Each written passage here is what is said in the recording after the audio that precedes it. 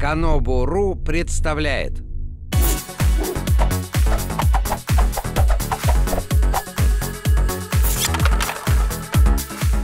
Всем привет!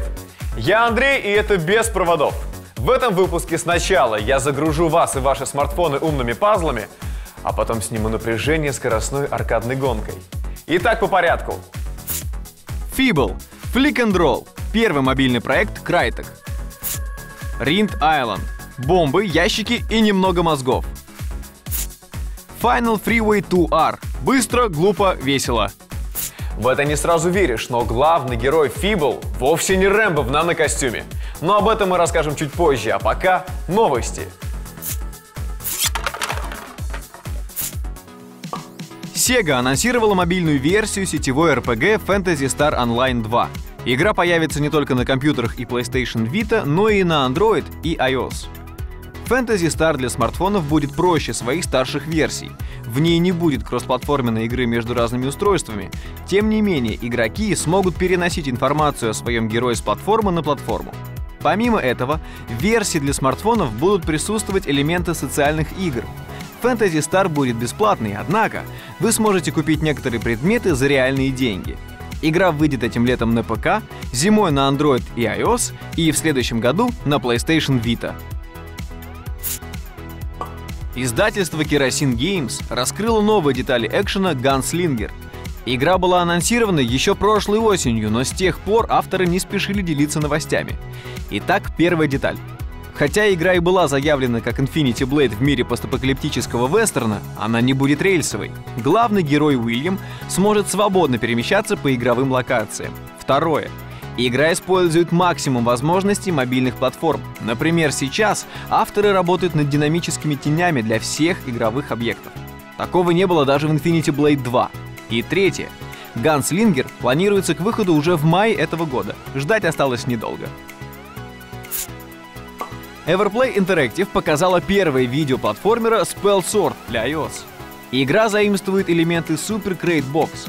Как и в популярном инди-экшене, игроку предстоит отбиваться от монстров на маленьких аренах. Но в отличие от Super Crate Box, главный герой Spell Sword сможет находить различные предметы и улучшать свои навыки. Помимо бесконечного режима, в игре будет более 90 миссий. Дата выхода игры пока не объявлена. В прошлом выпуске мы рассказали вам о небольшом таймкиллере Angry Bird Space. Так вот, всего за три дня эту игру купили 10 миллионов раз. Это значит, что каждую секунду совершалось 39 покупок игры. Да ведь это самый настоящий культ. Все знают Crytek, большую компанию, известную своими высокотехнологичными шутерами. А какой могла бы быть мобильная игра от авторов Crysis? Большой? Серьезной? А вот и нет. Мобильная игра от Crytek это Feeble. Аркада про веселого инопланетянина. Предупреждаем сразу, здесь нет нанокостюмов. Вместо них оранжевый пришелец Покатун, который, как вы понимаете, катается по уровням. Игрок задает герою направление, после чего помогает ему, наклоняя устройство в нужную сторону. Чем быстрее Покатун окажется на финише и чем больше очков он наберет, тем лучше. Чуть позже к герою присоединяются другие пришельцы-помощники. Например, осьмидок может резко изменить направление движения покатуна. А что делает попрыгун, вам и так ясно.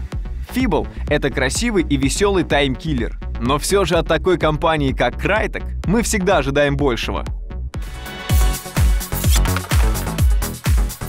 Чтобы сделать хорошую игру, не обязательно быть оригинальным. Достаточно соединить вместе несколько проверенных элементов. Например, возьмем подрывные работы из Бомбермена и добавим туда передвижение ящиков из Сакабана. И у нас получится пазл Ринд Айленд. На остров Ринд напала ненастье, и, конечно, только наш герой может помочь местным жителям. Забудьте про сюжет, он здесь для галочки.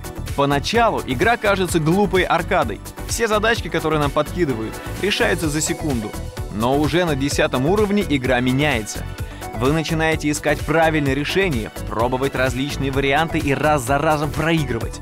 Оказывается, двигать ящики, взрывать стены и катать валуны не так-то просто.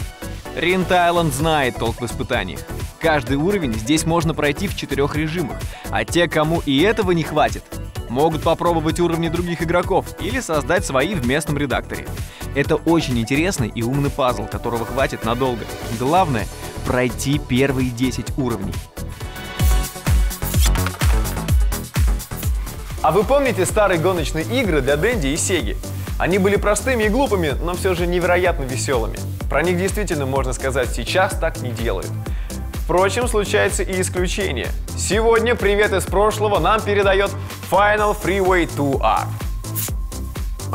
Если вы знакомы с 16-битной классикой, то сразу поймете, откуда растут ноги этой игры. Конечно же, из Outrun 1986 года.